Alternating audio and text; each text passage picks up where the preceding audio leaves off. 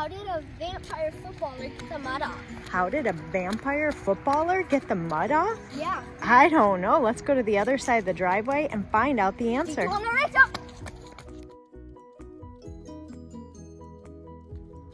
He gets in the bathtub. He gets in the bathtub. That's how the vampire footballer player gets the mud off. Yeah. High five, buddy. Good joke.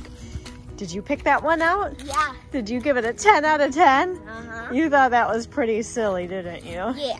Is it going to be Bills playing tonight? Yeah. What do you say? Go Bills. Go Bills. All right, everybody have a great Monday. Have a great Monday. I'll see you tomorrow. Bye. Bye, everybody.